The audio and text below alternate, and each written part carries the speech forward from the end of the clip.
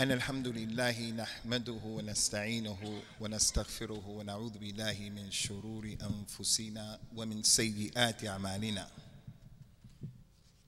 من يهده الله فلا مضل له ومن يضلل فلا هادي له. وأشهد أن لا إله إلا الله وحده لا شريك له. واشهد ان محمدا عبده ورسوله صلوات الله وسلامه عليه اما بعد Anytime a khatib comes to this masjid or any masjid, Mecca, Medina, Bayt al-Maqdis, he's always trying to figure out what would be the most appropriate issue to advise the community with.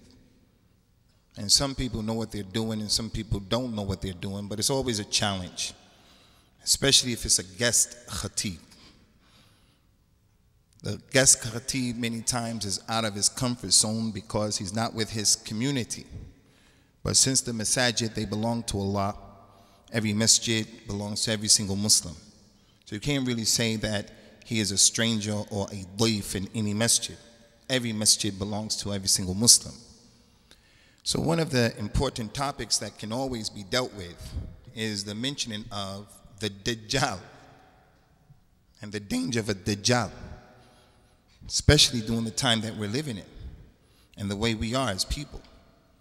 And the fact that the Prophet mentioned, sallallahu alayhi wasallam, inna min ashrat as-sa'ati an la yuthkar ad-dajjal ala al-manabir.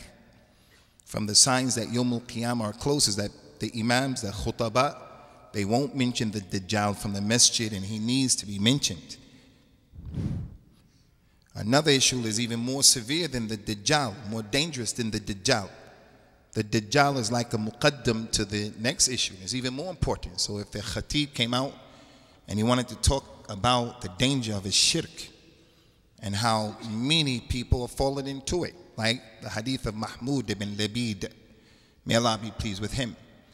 The Nabi, he mentioned, sallallahu alayhi wa sallam, أخوف ما أخاف عليكم من الشرك الأصغر I fear for you people more than anything else showing off.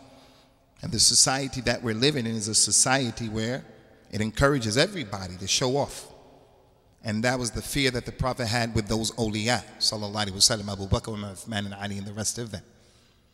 He said, sallallahu alayhi wasallam, لا تقوم الساعة حتى تلحق قبائل من العرب بالمشركين.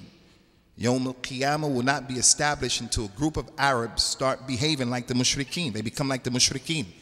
He called them Arabs. Some of the scholars said the Arabs here is a rams. It means the Muslims. Until some Muslims become like mushrikeen.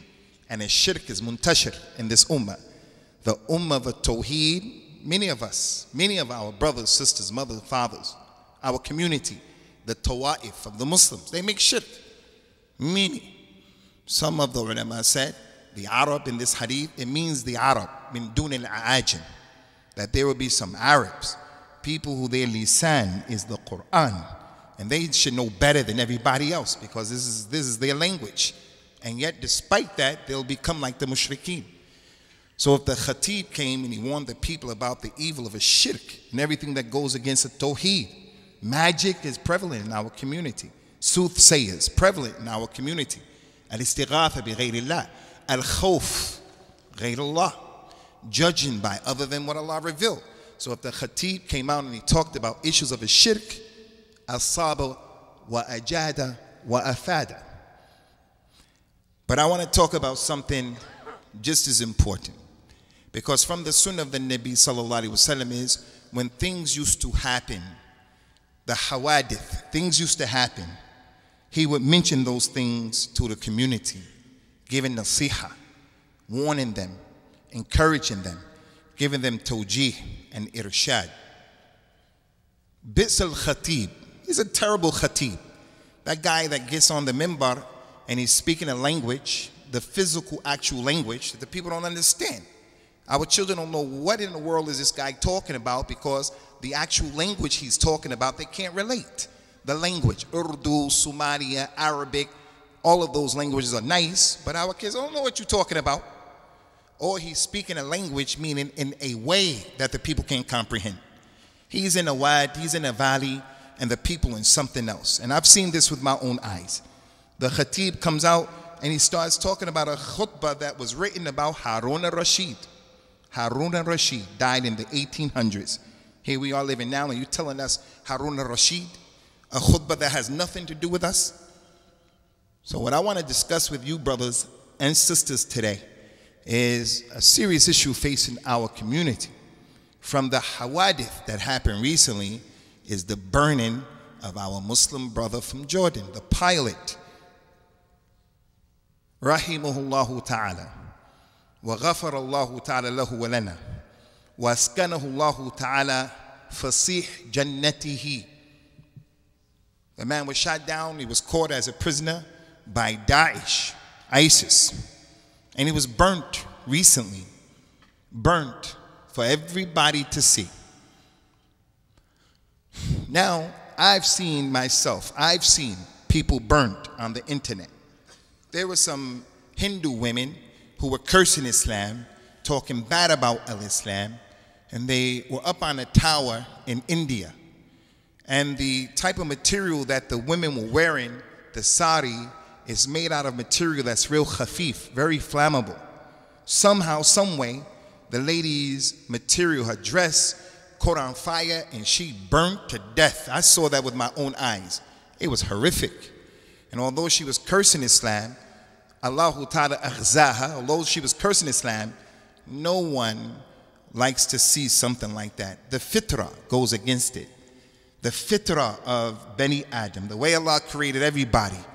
If his fitrah is salim, salima, and he sees someone being burnt to death, he's going to say, La hawla wa la quwwata illa billah. He's not going to rejoice at that. So concerning this particular issue, there was a time that many people from our community in Europe, in Canada, all over the place, because of the lack of knowledge of our religion, many people were not sure about Daesh, ISIS. Many Muslims thought that these people were about the Khilafah and the Khalifa and Nusrat al-Din and Intishar of al-Islam and al-Izz and I'tizaz. Many people thought that. And as a result of that, some of our youngsters who have their whole lives in front of them, they threw their lives away and they traveled. The girl would travel without the knowledge of her parents and she would get married. She would be married off without her wali, without his knowledge, not to mention his permission. So there were many people who thought that this group of individuals were a group of people who were really trying to practice Islam. And that's because Muslims, they looked at the issue from one angle, and they had the right to look at it from that angle. And the angle is, we do not like Bashar Assad. La basharahu Allah bi yawm al-qiyamah. He's a kafir, he's a mulhid. He's aduullah and adu to the Muslims in this deen. So the Muslim doesn't like that. As a result of that, if there arises a group of people and they say, we want to fight this guy, we want to make intiqam, we want to make the izal of this person, we understand that. So from that angle, Muslims supported Daesh. But they didn't look from other very important points. And that's one of the problems with our ummah today. It's not enough for you or me to look just from one angle. Knowledge is not like that. Any person in this masjid right now, if I looked at you from one point, if you looked at me from one angle, and then we give a judgment, we're not going to be fair in our assessments. There are many angles, many points. Why did he do it? What was his situation? What is his level of understanding? What happened? What is the khalfiyat? What all the issues? You have to look at every point. So there are many points that people with knowledge, when they look at Daesh, they say, nope, these people are not okay because they don't have ulama with them and because many other issues. But the point I want to make here is after the burning of this pilot, our brother Mu'adh, غفر الله له ولنا ورحمه الله تعالى واسكنه الله تعالى في جنته الفسيحة after the burning of this man I don't think that there's any Muslim who is aqil I don't think there's any Muslim who is intelligent who can come and say this is Islam. And if someone says that after seeing what happened something is wrong with you. Something is wrong with you.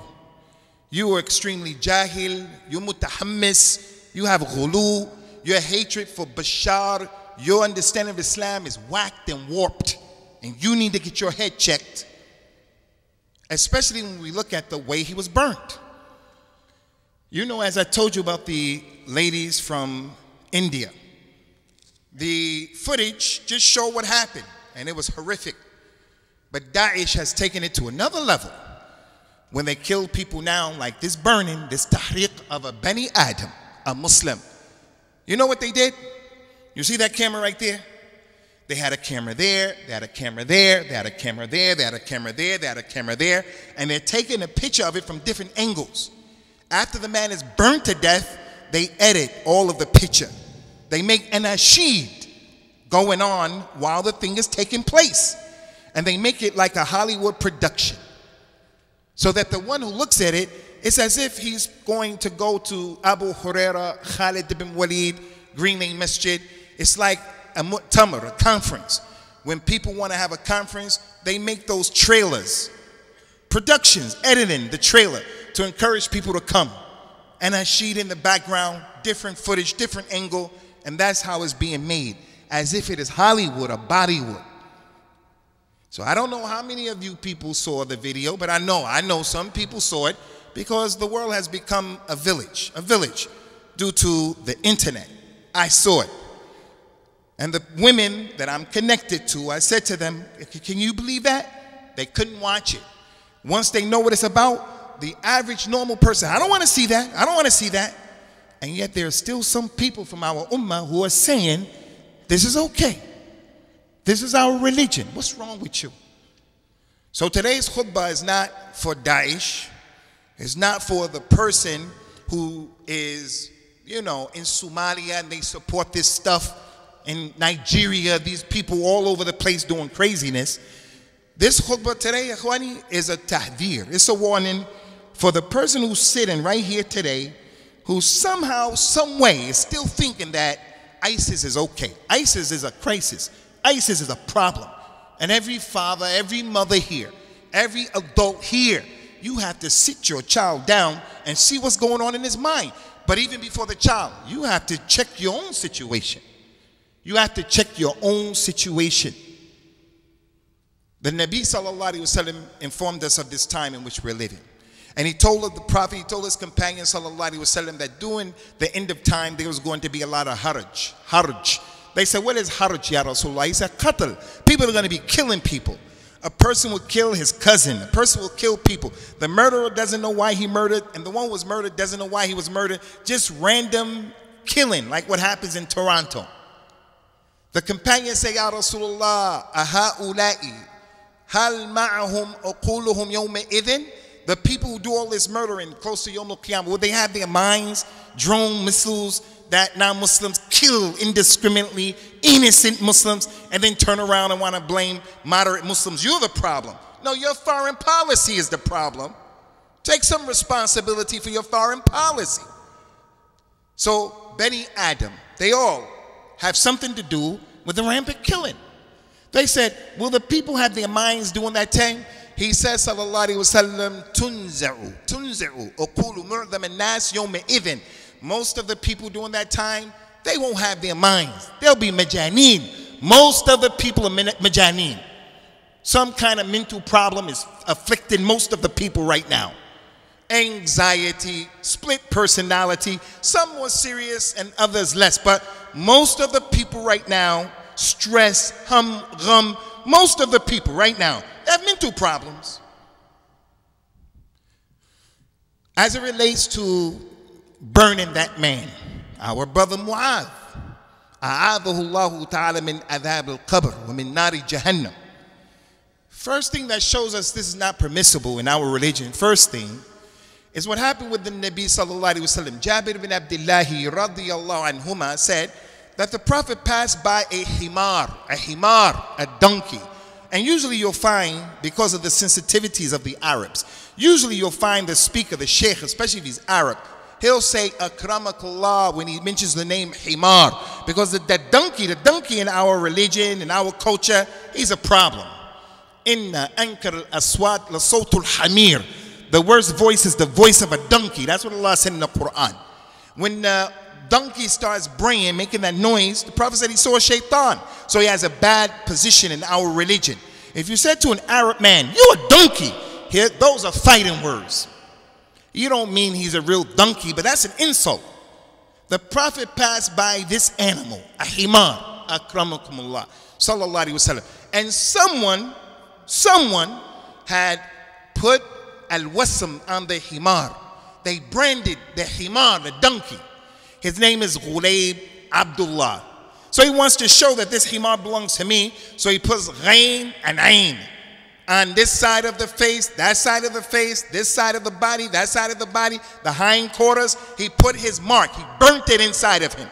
When the Prophet saw that, he said, Sallallahu Alaihi Wasallam, La'an Allah, La'an Allah, Ladhi wasamahu. May Allah curse the person who branded this donkey. What about a human being? You burn him all up. Allah said in the Quran, لَقَدْ كَرَّمَ اللَّهُ بَنِي Adam. Allah has honored Bani Adam, all of them, even the kuffar. There was a Muslim man who had a fight with a non-Muslim, a Yahudi, and he punched him in his face. The Muslim punched him right in his face. The Yahudi went to the Nabi and he complained. The Prophet came out to the people and he said to all of the Muslims, Sallallahu Alaihi Wasallam, لا تضربوا في الوجوه فإن الله خلق آدم على صورته Don't punch another human being in his face because Allah created everybody in the image of Adam. So respect to Adam, respect to the human being. Allah honored Adam, who's the father of, uh, father of all of Bani Adam. You cannot burn a human being if you clearly can't burn a donkey. A donkey. Look what happened. The Nabi sallallahu alayhi wa ala alihi wasallam defended the rights of a dead donkey, a dead donkey.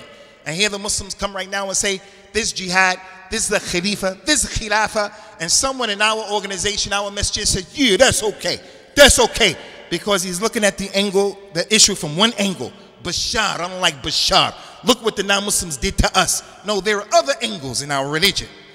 What makes this something that's haram, and it leaves no doubt in the mind of any aqil. And if you don't understand this, something's wrong with your aqil. He says, sallallahu alaihi wasallam, in a tremendous hadith that Al-Imam al-Nawawi put in his book, 40 hadith of Al-Imam al-Nawawi. And the vast majority of you heard that hadith and that book, that book, you heard of it. That book is in your homes.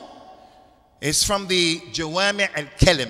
He brought those hadith that were from the Jawami al-Kalim, those tremendous hadith that the Prophet mentioned.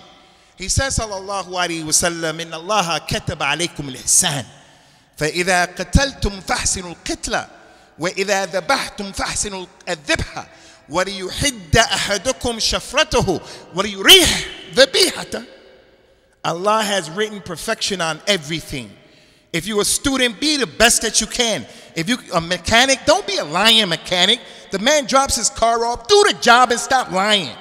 He brought his computer to you to fix it. Don't take advantage of the, the, the, the system, the way it is, and you, you, you oppress him. You're going to make salah. Be the best person when you make salah. Do the best that you can to the best of your ability. He says, so therefore, when you kill, kill well. And when you slaughter, slaughter well. And let each and every one of you sharpen the knife so as to free the animal from suffering. So you can't bring a knife to slaughter an animal and it's dull and you're chopping his neck. You can't bring an animal, animal a kharuf, ghanam, an ibil, al baqara. You can't bring the animal and you're cutting his neck and his babies are watching what you're doing. The babies of the mother or the father, the animal. You can't slaughter him in front of the babies. And you cannot chop his head off like that. What about the human being? What about the human being? I have no doubt in my mind that Daesh are from the Khawarij that the Prophet told us about. Sallallahu Alaihi Wasallam. The Khawarij who have come out all the time during the times of fitan. Last time I was here, I talked about the Munafiqeen. The Munafiqun are a group of people who, during the time of community development, when the Muslims least need problems, they're the ones who are causing the balbala and the problems. The whole world giving us problems, our ummah legislation in Europe, in America, is putting, being put forth geared at destroying the mind of the Muslim. The little Muslim child, your, your kids, my kids, 13, 14, and grade 8, they're being taught sex education. And other than that, legislation being put forward, we don't need any extra drama that's unnecessary. So someone comes and he believes that you can put a human being, not just a Muslim, a human being in a cage and burn him alive. Who in his, who in his right mind believes that?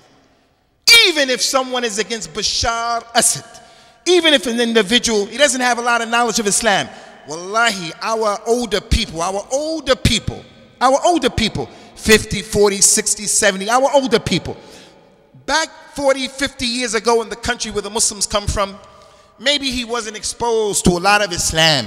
But at the age of 18, 19, 20, none of them would have even thought about what our children are thinking about doing today with killing people and killing themselves.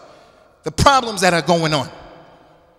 From what show us, what shows us the impermissibility of what happened at Juani is clearly, clearly, some of the companions, they saw that there was an ant hole, uh, a mound, an ant mound, and they burnt the ants. They burnt them to get rid of the ants. When the prophet came and he saw what happened, he said, Who did this? Man harraq hadi. Who, who did it? The companions, they fessed up. They said, We did, Ya Rasulullah. He said, Sallallahu Alaihi Wasallam, Innahu la yambagi. أن يعذب أحد بالنار إلا رب النار it is not permissible for anybody to punish someone else with fire except the Lord of the fire. From the khasa'is of Allah, Allah has names and attributes. No one's names and attributes are similar to Allah. He does what he wants to do. His names and his attributes, they befit his majesty. Allah is mutakabbir. There's no one who can share with him in that. Can't be mutakabbir because of your job, your color, your tribe, where you come from. You are in competition with Allah. Allah is Al Khaliq. You're not the, the Khaliq. Don't call yourself the King of Kings, the Sultan of the Salatin, because you're in competition with Allah. Mighty and majestic is He. From His khasa'is, only Allah should punish with the fire. Only Allah. Here comes a group of people who say, Khalifa, Khilafa, Al-Wala wal-Bara, Al-Kufar, Kufar, Izzatul Islam and they compete with Allah with one of the akhas khasa'isihi. They burn a human being, not just a regular human being, Abdullah. They burn a Muslim man. Now, I don't know the background of my brother Mu'adh, غفر الله له ولنا وأسكنه الله تعالى في جنته الفسيحة. I don't know. I want my son to be a pilot. My son Thabit. أثبته الله على الإسلام والسنة. He wants to be a pilot. Okay, I want you to be a pilot, but try not to be a pilot in the government of any of these people. Try to be a pilot in one of these commercial airlines who take people to and fro, let them visit their relatives, and so forth and so on. I don't know what Mu'adh's situation was, but before I can judge his situation, I have to say he's a Muslim, mother and father Muslim, comes from the country of the Muslims. And therefore, it's not permissible for you to burn him or other than that individual. Now, there are a lot of hadith, ikhwani, a lot. I don't have time to deal with all of that. Some of the companions, they were traveling. There was a man who did a lot of evil to the Muslims. The Prophet told a group of the companions, when you travel out, if you find so and so and so and so and so and so, I want you to burn him because he did so much bad. Allah Ta'ala sent Jibril to the Nabi Sallallahu Alaihi. Wasallam. Don't, don't tell him that. He called him back. He said, hey, I told you to burn them. I'm telling you now, don't burn them because no one should use the fire to torture except the Lord of the fire. The Lord of the fire. Now, ikhwani fillah, ikhwani, this is a tahdir. This is a warning. This is a warning. There were people a year ago, more than a year ago, six months ago, they had enough knowledge to know these people are a problem. These people have all of the characteristics that the Prophet described the Khawarij with, sallallahu alaihi wasallam. يقتلون أهل الإسلام ويدعون أهل الأوثان. They kill the people of Islam and they leave the people who worship Othan. Now, some, some, some non-Muslims have been killed by Daesh. Some, but the vast majority of people who have been killed were Muslims and continue to be Muslims. And the Khawarij have always historically done the bidding of the enemies of Al Islam. Don't let anybody sit in this audience. And someone sits in this audience and he understands what I'm saying is, I'm against the, Khalifa and Al Khilafa. And I don't know Al Wala wal Bara. Don't, don't understand that. That's a different issue altogether. The Prophet sallallahu alaihi wasallam brought a religion. He brought a religion that does not sanction or condone that drama. And if anybody has a problem comprehending that, yeah, you need to check your understanding of the deen of Allah. You need to take it easy. So, with that being the case, I want to take this time out to speak to the reverts specifically, but everybody is included here in this country, in Canada. There was a revert who got involved in that thing that happened in Quebec. There was a revert who did that thing in Ottawa. What? This is not our religion. The revert comes to Islam and he's happy because Islam is life. It shows him the way to live. But that is not enough, the fact that you are happy to be a Muslim. You have to learn about your religion. You know that the Nabi sallallahu alaihi wasallam told his companions, "Ma yanbaghi lirajul an yal'an walidayhi." A Muslim should not curse his own mother and his father. Don't curse your own mother. Don't curse your own father. They said, How would someone do that? Why would someone do that? He said, By cursing someone else's mother and father, you cause that man to curse your mother and the father. The way we behave, we cause people to hate this religion of Al Islam. Now, don't get it twisted, Ummat al Islam at Abu Huraira. Don't get it mixed up. Don't get it mixed up. I'm pretty vocal about what I believe concerning the foreign policy and the unjust nature of non Muslims and the Western governments. That's my right to freedom of speech. They should not allow those people to draw our Nabi sallallahu alayhi wasallam, although they don't know him. He never did anything to you. Why are you drawing him like that? The point is, the point is, that's one thing. But our standard as Muslims, our standard, Allah holds everybody here to a higher standard. He holds every Muslim to a higher standard than what the kuffar hold themselves to. ولا يجرمنكم شنآن قوم على لا تعدلوا اعدلوا هو أقرب للتقوى don't let someone's oppression towards you cause you to be oppressive. Our brothers and sisters who are in Palestine, the Yahud, the racist, fascist state of Israel, they have made it out, made it out, meted out a lot of harm and zulm to the Muslims in Palestine. A lot. Stuff that's in, you can't even imagine it. In Kashmir, the Indians, they did that to the Muslims as well. A lot, a lot. But I don't think that the Khala al-Ajuz, the old lady in Palestine who lost her son because the kuffar, they knocked down the building and they killed her son.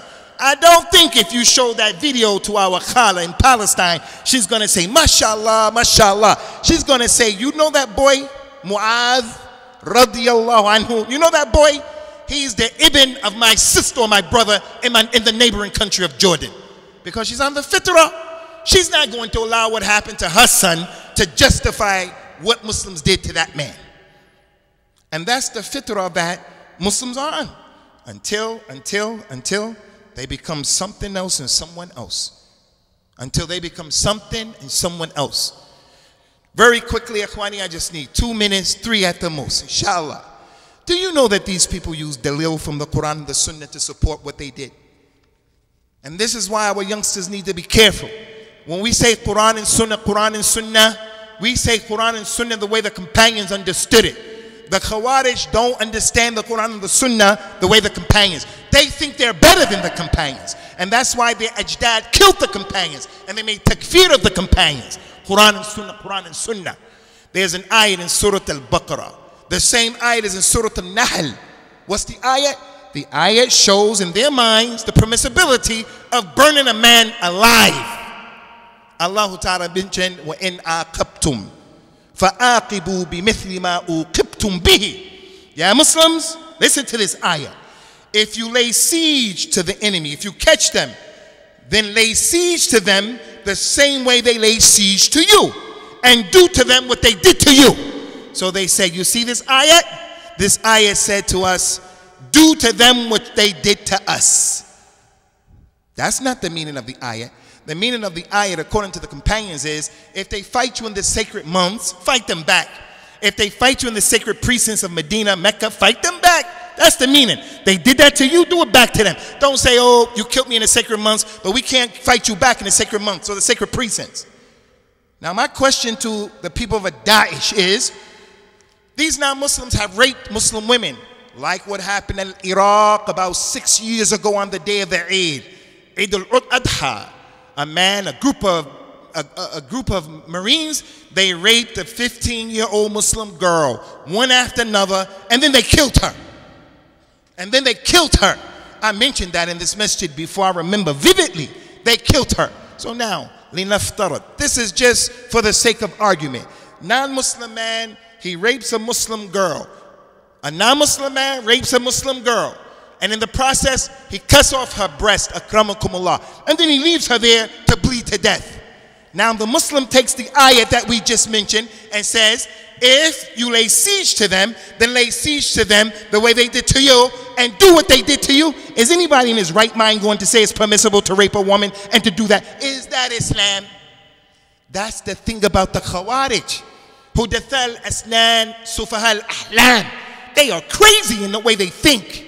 They are crazy.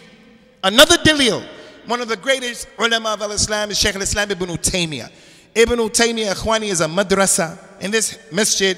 I'm sure you people heard of Al-Imam Al-Albani, Ibn Baz, Ibn Uthaymeen. Many of you heard of Yusuf Qardawi. These four people, these four people, they cannot be compared to Ibn Taymiyyah. There's no comparison, no makarana, no makarana. To make a comp comparison is zul. This man was a madrasa. From those people who he taught, Ibn Kathir, one of the best tafsirs in Al-Islam and he wrote a book called Al Bidayah wa Nihaya. Those of you who know Arabic, go read that book and see what he said about the Khawarij over history, Ibn Kathir. From Ibn Taymiyyah's students, Al Imam al Dhahabi, Al Imam Ibn al Qayyim, Ibn Daqiq al Eid, Al Mizzi. Wallahi, I wish I had time to tell you. Al Mizzi, he wrote all of the Tarajim. Every narrator in the Kutub al Sitta, he wrote who he took from and who took from him and then gave a ruling. He's thiqah, he's da'if, he's saduq. That's more people in this masjid. Tens of thousands of people. He was, he was a student of Ibn Taymiyyah. From his students is a man called Ibn Muflih. Ibn Taymiyyah used to say, you're not Ibn Muflih, but enter Muflih. You're Muflih. This man wrote a book called Al-Adab al-Shar'iyah. Inside of it, it tells us how to do Juma, how to dress, how to get married, everything you know. And he talked about burning people they use what Ibn Taymiyyah said. Listen to this. Daesh used something that Ibn Taymiyyah wrote. He was talking about a question that was presented to him, and the question was, what is the ruling if the Muslims get an enemy, an enemy, and they kill him, he's dead? What is the ruling to mutilate him in order to pump fear in the hearts and the minds of the kuffar? When they come and they see the man has been uh, bihi, he's mutilated, ears, nose, eyes gouged out, and the non-Muslims see it, and it's going to make them afraid. Is that permissible? And he wrote some kalam. Generally speaking, he said it's not permissible. It's not permissible. But he wrote some other kalam. They use that as a delil to burn a Muslim man alive. To burn a person alive. This issue he's talking about is one thing, and this issue over here is a totally different, opposite situation. And that's one of the big problems with the Khawarij. They have their own understanding. They have their own understanding. So the call here, the call here is to encourage every member of this community. Every member, someone sits up, stands up, and we hear that voice coming from him. That voice that suggests he supports this stuff. Collectively, we have to make that guy uncomfortable with being here. He has to be uncomfortable because that kalam is not okay. And don't let people in your homes who believe that. And don't let people around your kids who believe that. And make sure that you're checking the minds of your children. What are they understanding about Daesh and other than that? أقول قولي هذا واستغفر الله لي ولكم ونسأل الله تعالى التوفيق التوفيق والسداد والهداية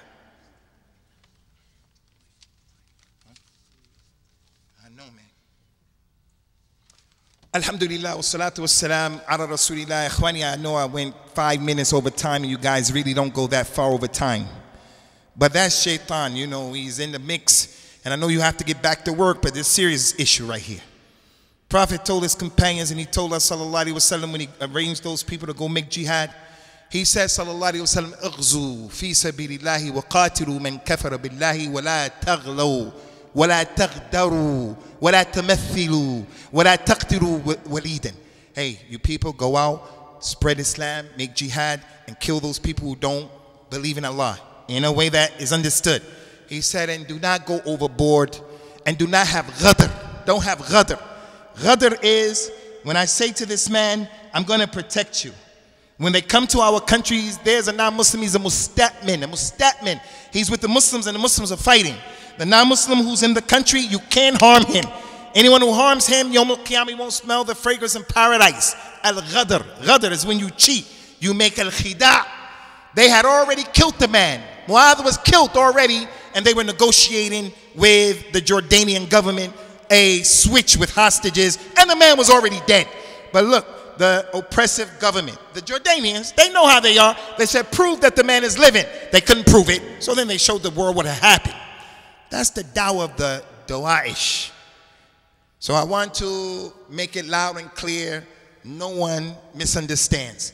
Be careful of this particular dawah. Yomul Qiyamah the uh, people who are spreading this type of fitting facade, there's a big price to pay, and we don't want to be a part of that program. May Allah help us to be of those people who are truthful in word and deed, establish us upon the kitab and the tawheed, and bring this ummah back to our uqul, and protect our shabab, the boys from them and the girls from them. May Allah Ta'ala help us to understand this religion and understand that our religion is a religion of rahmah. At the same time, it's a religion of izzah. And the one who has knowledge is able to put everything in a proper place. I want to apologize for going 10 minutes over, 7 minutes over. May Allah put it in your mizan of hasanat for your sabr and your husn istima. Aqim salat yarhamakumullah.